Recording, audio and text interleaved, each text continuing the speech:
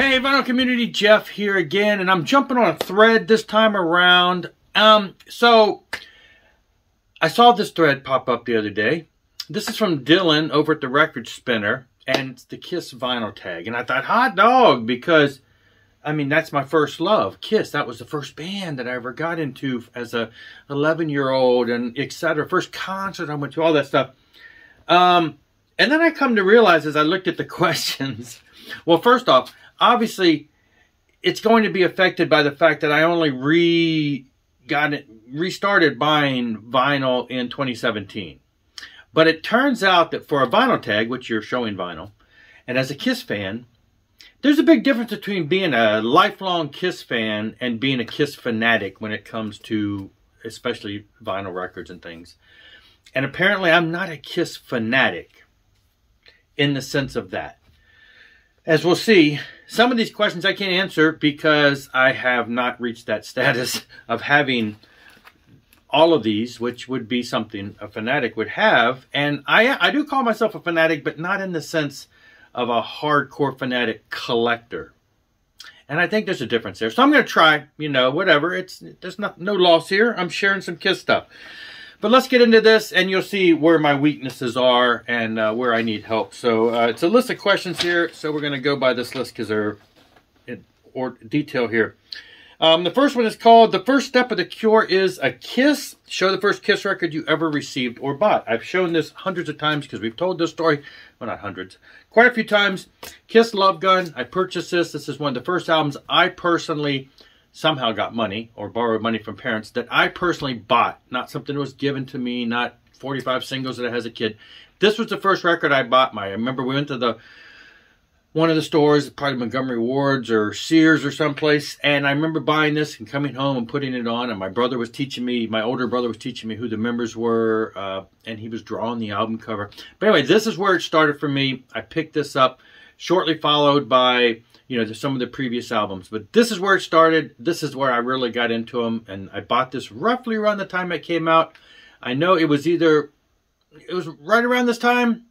Kiss Alive 2 might have already been out, but I think, I remember seeing that on the front store shelves when it came out. So this, I might have bought this right before that time. But so to me, this is the era. This is the costumes. This is the look.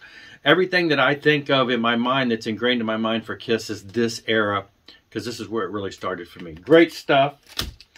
So, second question. Germany was really sweet. Show a German pressing with the censored logo. I have Kiss Revenge. And this was actually not intentionally bought. I bought it from Amazon and it came this way. They were selling the, and it was on sale. And this is one of the 2014 repressings. And so, yeah, uh, I don't know how many other, I don't think I have any others with the German logo like this. But anyway, great stuff there. Number three, you wanted the best, you got the best. Show a compilation or best of. Now, honestly, I'm not a fan of best of unless there's something on it that makes it worth buying, something different, something added. Um, I have had my hands on that same Kiss compilation for Walmart over and over again, but I'm just like, why? Why am I shelling out the money for songs I already have? I'd rather have all the albums. So I'm not a big collector of compilations, like I say, unless there's something that makes them worth buying. The only one I have would be the classic double platinum, and even that, you know, I mean, it's it is a compilation, but some of the songs have been tweaked and updated. But this will probably be the closest thing. I call it a compilation because it's kind, it is the best of. I mean, it's got all the a lot of the best songs up to this point. Um, beyond this, like I say, I'm not sure how many others I would even be interested in buying, just because if you have all the albums, I'm just never much of a best of person. I usually buy best of albums by bands that I'm not intent I'm not intending to buy their entire collection. I'm just like, that's enough for me. You know, I get the best of that band. So anyway, kind of a partial failure, but partially good.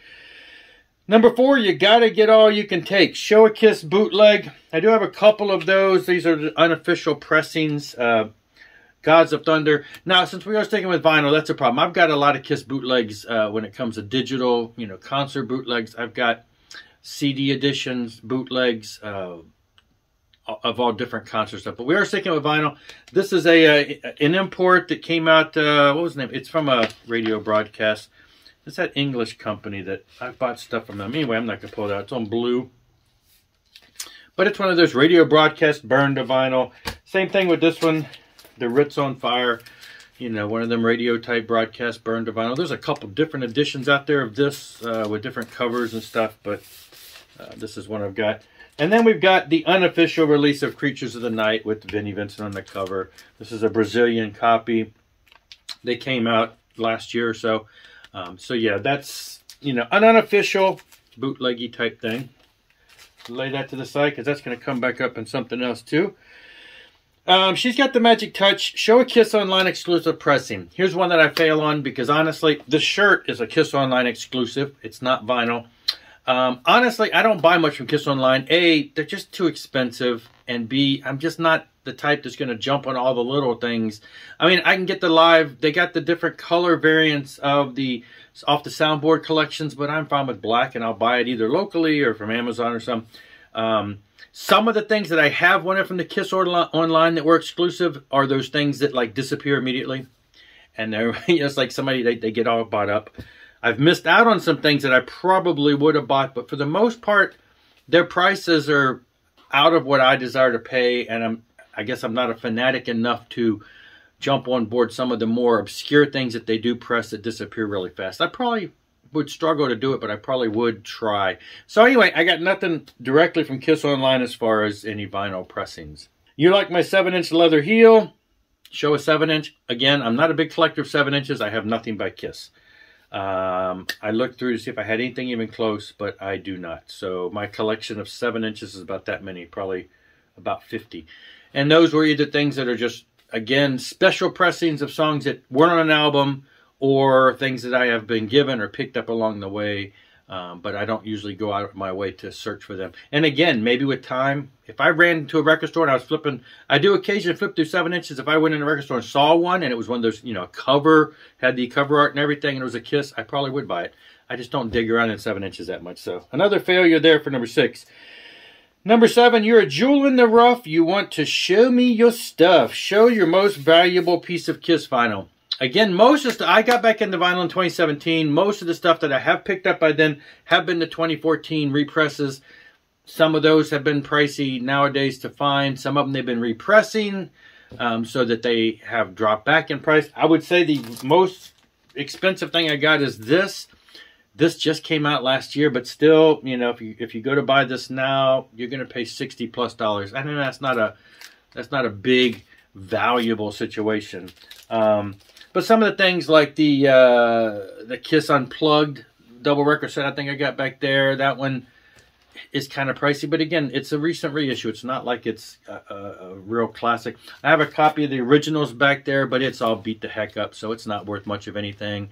So I don't really have anything because I've just got back into buying vinyl recently. I don't have anything yet that I would call super collective uh, as far as valuable.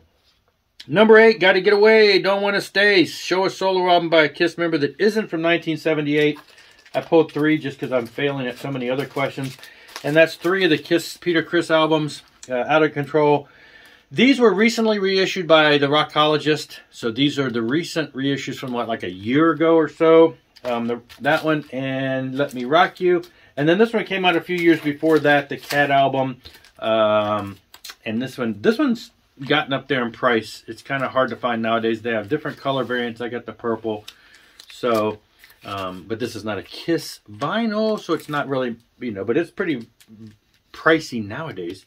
So there you go. Three of the, and of course I've got all the Ace Frehley, Frehley's Comet stuff, but let's go a little different. We're going with Peter Criss, and uh, again, the recent reissues of his solo stuff there. Uh, so let's see, just Number nine, just call me a three-time loser. Show the most copy variants you have of a Kiss album. I'm not a big collector of variants. I do have two copies of Crazy Nights. I've got the regular one and the picture disc. I bought this first years ago strictly because I was hanging it up on my wall as a picture disc. This is before I even got back into buying vinyl records. I purchased this on eBay for pennies on the dollar because vinyl wasn't a big deal when I bought this like 10 or more years ago. And then I, of course, picked up the 2014 reissue of this. So I have two of these. Of course, the Creatures of the Night Brazil copy is the second copy because I have the recent reissue of Creatures of the Night uh, back there, I believe. That would be two of those. They're a little slight variant there. The uh, I'm trying to think. I don't know if I have anything else that's uh, really multiple copies. So yeah, not to the point where I collect variants. Now I am on the lookout when I go to a record store and I see Kiss Alive 2, I do kind of flip. I am looking for that grail of finding one that's got the song titles wrong on the back of it.